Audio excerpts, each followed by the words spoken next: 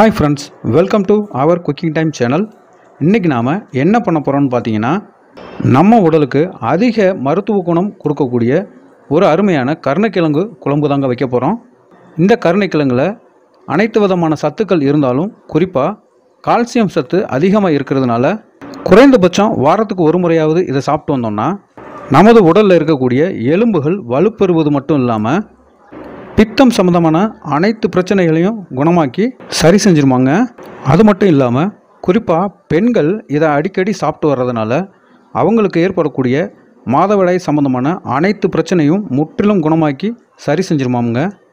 இப்படிப்பட்ட அதிக மருத்துவ குணமுள்ள ஒரு சுவைமிக்க அருமையான கருணைக்கிழங்கு குழம்ப ஒரு கிராமத்து முறைப்படி நாம் எப்படி பண்ணலான்றத பார்க்கலாம். வாங்க. கருணைக்கிழங்கு குழம்புக்கு நான் வந்து இன்றைக்கி ஒரு ஒரு கிலோ கருணைக்கிழங்கு வாங்கியிருக்கேங்க. ஃபஸ்ட்டு நாம் இதை தண்ணியில் போட்டு வேக வச்சிடலாங்க. இந்த கருணைக்கிழங்கு வெந்துக்கிட்டே இருக்கட்டுங்க. இப்போ நாம் இன்னொரு ஸ்டவ்வை ஆன் பண்ணிவிட்டு இந்த குழம்பு தயாரிக்கிறதுக்கு வேண்டிய ஒரு மண் சட்டியை வச்சிடலாங்க. சட்டி நல்லா சூடானதும் ஒரு ஐம்பது மில்லி அளவுக்கு எண்ணெய் ஊற்றிக்கலாங்க ஒரு அரை டீஸ்பூன் அளவுக்கு கடுகு உளுந்து சேர்த்துக்கலாங்க. கூடவே ஒரு அரை டீஸ்பூன் அளவுக்கு சீரகம் கொஞ்சம் சேர்த்துக்கலாங்க. ஒரு கால் டீஸ்பூன் வெந்தயம் கொஞ்சம் சேர்த்துக்கலாங்க. கடுகு சீரகம் எல்லாம் நல்லா பொரிஞ்சு வந்ததும் ஒரு நாலே நாலு வரமிளகாய் இதில் சேர்த்துக்கலாங்க. ஒரு கையளவு கருவேப்பிலை இப்போ நாம் இதோட சேர்த்துக்கலாங்க. ரெண்டு ரெண்டாக கட் பண்ண சின்ன வெங்காயம் ஒரு நூற்றம்பது கிராம் இதில் சேர்த்துக்கலாங்க.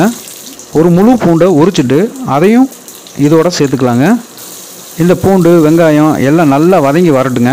இந்த பூண்டு வெங்காயம் எல்லாம் நல்லா வதங்கி வந்துடுச்சுங்க இப்போ நாம் ஒரு நூற்றம்பது கிராம் அளவுள்ள தக்காளியை நல்லா பேஸ்ட் மாதிரி அரைச்சி அதையும் இதோட சேர்த்துக்கலாங்க. நாம் ஊற்றின இந்த தக்காளி பேஸ்ட்டு நல்லா ஃப்ரை ஆகி சுருங்கி வந்ததும் இப்போ நாம் ஒரு கால் டீஸ்பூன் அளவுக்கு மஞ்சள் பொடி சேர்த்துக்கலாங்க. கூடவே காரத்துக்காக நாம் ஒரு ஒன்றரை ஸ்பூன் அளவுக்கு மிளகாய் பொடி சேர்த்துக்கலாங்க.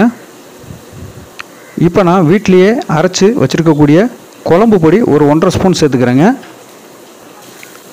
இப்போ நாம் போட்ட இந்த மசாலா பொடிகள் வெங்காயம் தக்காளி எல்லாம் நல்லா ஃப்ரை ஆகி வரட்டுங்க. பார்த்தீங்களா இப்போ சுத்தமாக தண்ணியே இல்லை பாருங்கள் நல்லா ஃப்ரை ஆகி அருமையாக தண்ணியெல்லாம் இல்லாமல் அருமையாக கிட்டத்தட்ட ஒரு ஊறுகாய் கண்டிஷனுக்கு வந்துருச்சு பாருங்கள் இந்த கண்டிஷனுக்கு வந்துடணுங்க.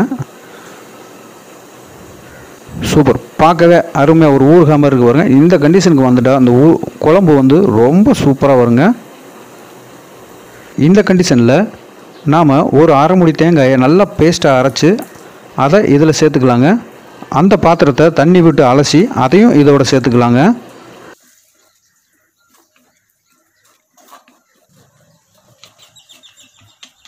இப்போ இதுக்கு தேவையான அளவுக்கு உப்பை இதோட சேர்த்துக்கலாங்க. இந்த உப்பு எல்லா பக்கமும் பரவுற மாதிரி நல்ல கிளறி விட்டுக்கலாங்க. கிட்டத்தட்ட ஒரு கிரேவி கண்டிஷன் வந்த பிறகு இந்த அளவுக்கு உள்ள புளியை ஒரு பாத்திரத்தில் ஒரு டம்ளர் தண்ணி ஊற்றி ஊற வச்சிடலாங்க. இந்த புளி ஊறிக்கிட்டு இருக்கும்போது நாம் வேக வச்ச இந்த கருணைக்கிழங்க சேர்த்துடலாங்க. இந்த கருணைக்கிழங்கு சேர்த்த பிறகு அந்த மசாலா எல்லாம் மேலே கீழே எல்லா பக்கமும் அப்ளை ஆகிற மாதிரி நல்லா பரட்டி விடணுங்க. இப்போ நாம் அந்த கரைச்சி வச்ச புளி தண்ணியை இதோட சேர்த்துக்கலாங்க. அந்த தண்ணியும் சேர்த்துட்டு இப்போ ஒரு முறை நல்லா கிளறி விடலாங்க. இப்போ நாம் தண்ணி தேவைன்னா கொஞ்சம் சேர்த்துட்டு நல்லா கிளறி விட்டு உப்பை செக் பண்ணிக்கலாங்க. உப்பு எல்லாம் சரியாகவே இருக்குங்க. இப்போ நாம் அப்படியே ஒரு பத்து நிமிஷம் மூடி வச்சிடலாங்க.